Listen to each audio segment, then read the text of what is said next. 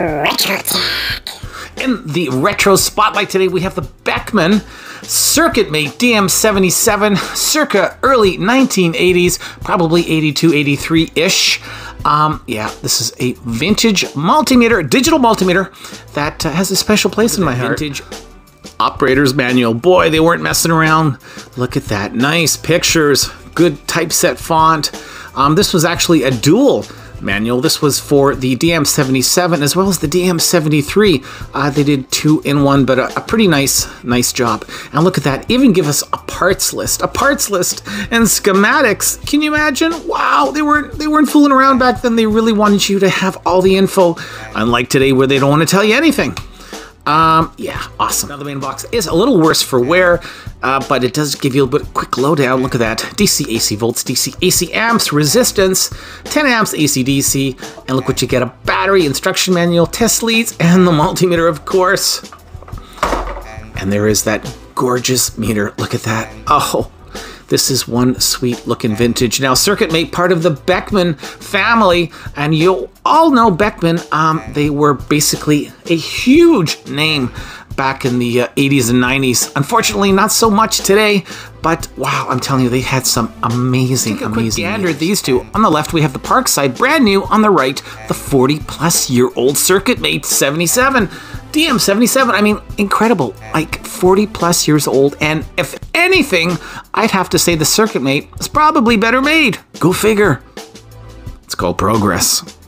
so here we have the classic uh, multimeter style, shape, and design. Look at that. Oh, beautiful. Big selector switch and uh, very, very easy to read.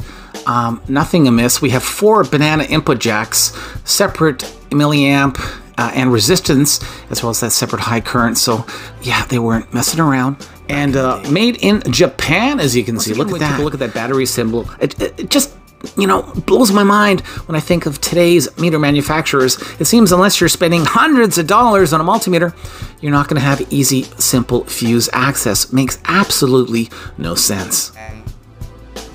One of the neat features as well with the DM77 is the resistance mode. You actually have an either uh, a low or a high voltage resistance. Yeah, you have an option.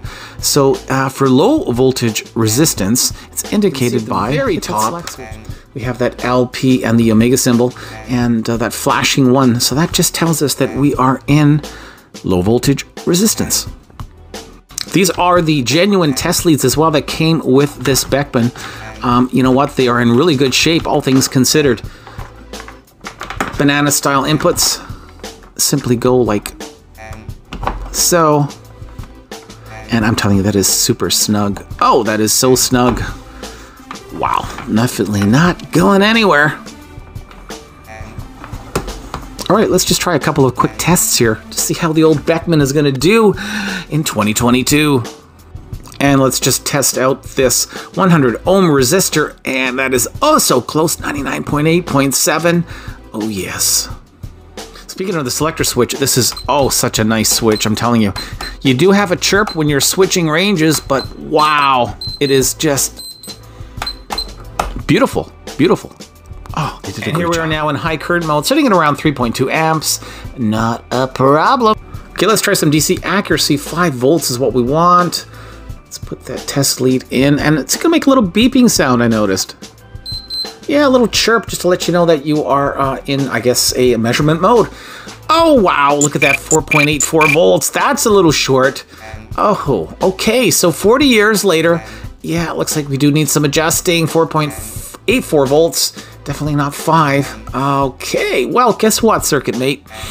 You did good up until now. But you know what? We're going to give you a lot of, not, not to worry, 40 plus years, I'm not, I'm not taking it against you. Next up, we'll take a quick look at AC mode and just hit that mode switch, and there we are into AC. Let's see what we have. Maybe can do a little bit better than DC. I hope. Okay. And once again, we get that little audible beep. And survey says Wow, not bad. 120 volts. That is pretty well spot on. Good stuff. So AC mode is just fine. Excellent. To take the back off, we have that one screw. And look at that nice washer as well. And here is a little opening, a housing for the audible speaker. Very, very nice. Okay, let's open up this 40 year old meter and see what's on the inside. Oh, I'm excited. Bird's eye view of the DM77. Uh, we had to pull off that selector knob to get the top off. And once we did, did that, it was easy breezy. Look at that. Some nice shielding front and back. Very, very nice. We have some grounding at the bottom. Let's take a look at that Surface PCB. Whoa, look at those input jacks. Absolutely love them. Nice, big, huge solder. Oh, so nicely done. There's our grounding spring. There's the selector switch itself, the on-off, and the um, function selector. Of course, this is uh, the main IC here, but uh, all in all, very, very nice. Just getting a little bit closer on those inputs, and wow, beautiful job, isn't it? telling you. Oh my god, those things are definitely going to be standing the test of time.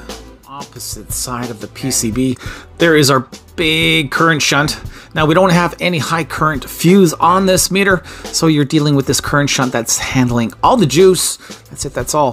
Here we have uh, a TR1 and TR2. These are calibration pots for user calibration for the voltage a, uh, a DC and the voltage AC. TR1, TR2.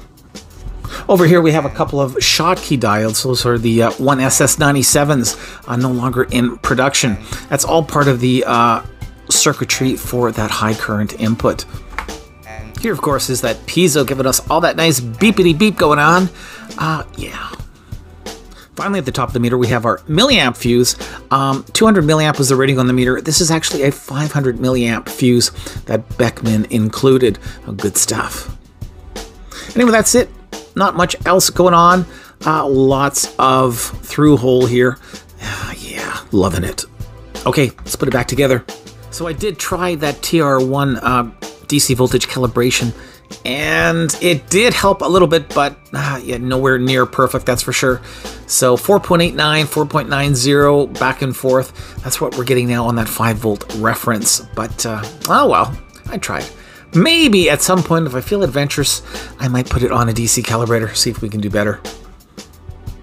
Hope you enjoyed this little peek of a classic DMM from the 80s, the CircuitMate DM77.